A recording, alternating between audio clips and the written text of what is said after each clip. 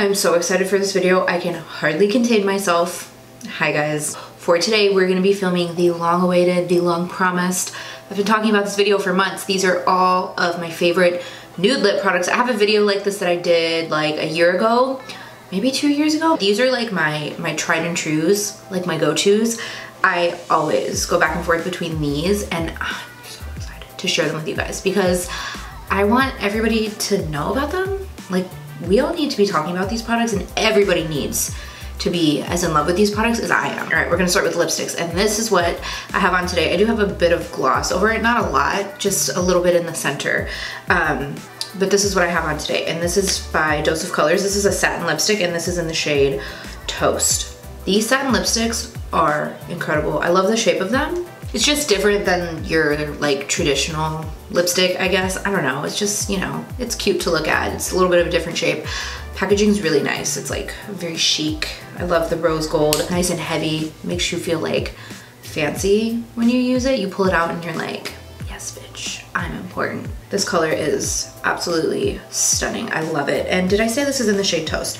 So um, the thing that I like about this now, like for me, when it comes to lipsticks, I like a creamy lipstick or like a shiny, balmy type of lipstick. I'm not really huge into matte lips in general, so I don't really gravitate towards matte lipsticks. It looks good by itself. You don't have to wear it with a lip liner or a gloss or anything like that, which is what I like about it. It's like my perfect kind of like brown tone lipstick, but a little bit on the lighter side. I'm really into brown tones. And you can see in the light, hopefully it has that sheen to it.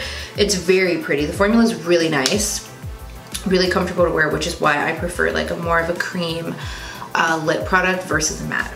Okay, next I have two from ColourPop. And these are also both cream lipsticks. This one is called Appy and kind of the same thing. You can see it's like a brown. Uh, very affordable. I think these are like six or seven bucks. They sell these at Ulta, so you can get them there now. This has a little bit of like a pinky peach vibe. You can see it right there next to uh, Dose of Colors. So this is Dose of Colors here, and then this one is ColourPop. I'm not like a massive packaging person. Packaging for me is not like a deal breaker. I can appreciate it, but it doesn't have the best, it doesn't have to have the best packaging ever for me as long as I can use the product. It's a good product and it's functional. Some people like really nice packaging and I love that ColourPop does it at an affordable price because not everybody can afford super expensive, luxurious makeup. And I like that these um, lipsticks, they feel luxurious, you know? I just, I, I love that about ColourPop. I'm a big ColourPop fan. And then this one is in the shade Butter. So it looks like this go ahead and show you a swatch. This is a little bit more on the brown tone side. Like has a pinch of pink in it, but a little more brown versus um, Appy. So this one is Appy here, and then this one is Butter. It's a little pinky brown type of moment. But yeah, I just wanted to mention those two, especially because they're super affordable. This is from Maybelline. This is one of the Shine lipsticks, and this is in the shade Baddest Beige. This is so pretty. It's really, really shiny. It's almost like gloss-like. Looks like that. And then this is a little bit more on the pink side as well. But um, this is one that I don't really wear on its own that often. It's a little sheer for me and although I don't really mind that, I just like this more on top of something else to make your lips, like if I want something a little more juicy looking. Um, but I just, I love the formula of it. Like the formula is so like satisfyingly good. I don't know, I really like it. I like these Shine lipsticks, but a lot of the ones, like a lot of the ones that they have, the colors just don't appeal to me. This is really the only one that I'm like really into the color. Um, I don't know. I don't know if they came out with new ones. I got this a really long time ago. I've had it for a while. So maybe they came out with new shades. That's like definitely my most used and my most favorite because it's more of like that pinky nude type of shade. And then let's move on to this one from e.l.f. This is a newer one for me and this is a cream lipstick. It's e.l.f. so it's very affordable. I don't know, I like that it's see-through. I feel like some people will say it looks a little bit like on the cheap side, but it reminds me of the KKW beauty ones and I don't know, I think it's cute. I like it. This is like three bucks. This is in the shade cream. I can't remember if I mentioned that. This is a newer one for me. I haven't had it that long, but I do really like it a lot. I have been reaching for it quite a bit. Now this is a little bit of more of like a drier formula. Um, I wouldn't say it's matte, but it's like a satin, but maybe leaning towards matte, but not fully matte, if that makes sense. So I have it right here next to the Maybelline one. You can see that the tones are all very similar, um, but definitely not as shiny as Maybelline down here. I like to take something like this and kind of stick it just right in the center, just to add a little bit more if I want like a haughtier looking lip. I really like this and it's e.l.f. Like you literally can't go wrong with it. Now I just discovered Charlotte Tilbury. I mean, I've heard of her, but I just tried her products um, I'd say towards the end of last year. Her lipsticks are incredible. Um, so I just talked about her lipsticks in my most recent favorites video and I do have two from her. This is the Kim KW so pretty. I've used it so much and like I don't want to use it because this is like a $40 lipstick and can I bring myself to buy it again? Mm, I probably will because I love this lipstick so much, but oh god, this bitch is expensive, okay? Is it worth it? Yes. To me it is, okay? It makes me happy, but it's expensive. And I've used, like I've used a lot of it. The packaging is so luxurious, it's so pretty. I love the little kiss imprint on the back. Can you see it? Can you see it? I'm not sure, but I love that. Um, and then I, I don't know, I like the shape of it. So she has two different, or she might have a couple of different types of lipsticks. Uh, here's another one I'll share in just a second, but you can see this one is definitely more like traditional and then this one has like a different shape. I don't know, it's like the little things that excite me, I guess. But this lipstick is again like another creamy type of lipstick. It's like very, very light nude. It's the iconic Kim K nude that she's very well known for. And the reason why I like this, which might sound weird, but I don't know, I really do like it for this reason is that it's a bit sheer so you can almost see a little bit of your natural lip. I, I don't want to say it's sheer, it's like a pinch sheer. You can see your natural lip through it and I really like that. I don't know why, like normally I like something like really opaque and really intense and it's like, damn, that is a lipstick. I didn't know I needed a lipstick like that until I got this one and I didn't know it was like that until I put it on my lips. Um, yeah, I like it. So it's here next to the e.l.f. one. So again, a little bit on the pinky-ish side. Very comfortable too, long lasting. The formula is a bit weird. It almost feels like a little rubbery and I don't know if that makes sense. It's not a bad thing whatsoever. That's probably just the best way I can describe it. It feels a little rubbery to me, but in the best way possible. This next one is Hepburn Honey. And this is a little bit more my speed, a little bit more of like an everyday for me, it's not focusing for some reason. This is, as you can see on the brown side, like I said, I love my browns. I'm gonna put it up here next to the Dose of Colors one. This one is Dose of Colors right here, and then this one is Charlotte Tilbury. So you can see it's more on the brown side, a little bit of like terracotta almost in it, like maybe just a little bit on the warmer brownie honey side. I love this, it's so pretty. It's like very shiny, very creamy. Love it. I really love the color. I definitely want to check out more of her lipsticks. She has like a ton of different lipstick colors.